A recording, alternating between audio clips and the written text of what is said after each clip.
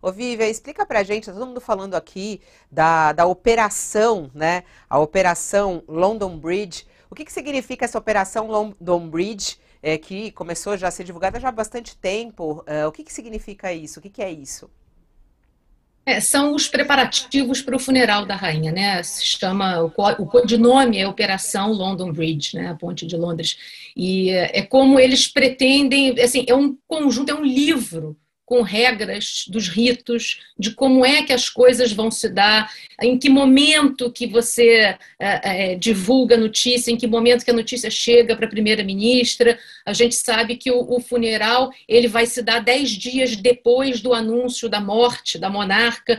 Quer dizer, é, é uma é um plano de ação que vem sendo preparado há muitos anos. Né? É, eu conversei recentemente com uma pessoa que me disse que não é só o plano de ação para o funeral, quer dizer, a própria BBC, e essa pessoa trabalhou na BBC durante muitos anos, a BBC prepara há 25 anos como vai ser a cobertura do funeral da rainha. Tudo tem o seu significado. É isso que eu estava falando agora há pouco. O próprio apresentador da BBC, que está ao vivo nesse momento, enquanto a gente está falando aqui, ele está de paletó preto, de gravata preta e de camisa branca, que é como ele precisa estar no momento em que ele talvez tenha que dar um, um anúncio, fazer um anúncio grave de uma notícia solene como essa imprensa, aliás, isso é interessante falar. Isso só a BBC ou a imprensa inglesa inteira, ô Vivian, é, tem, está já seguindo esses protocolos?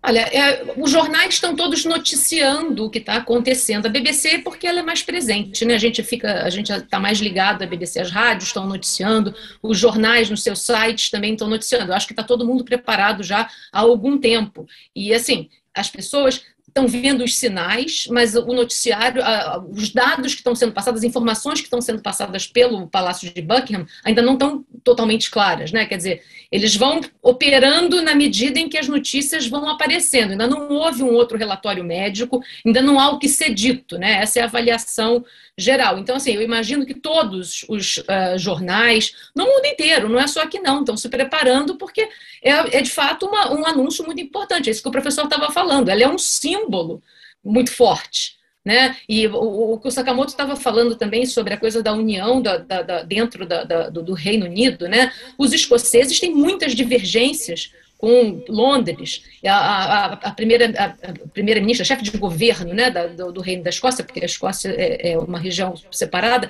ela, ela já, já anunciou que vai fazer um novo referendo pela separação. E os escoceses, que têm todas as suas diferenças com Londres, que votaram contra o Brexit, eles são monarquistas, eles adoram a rainha. Então, assim, esse símbolo dela, né, é uma coisa que mobiliza todo mundo.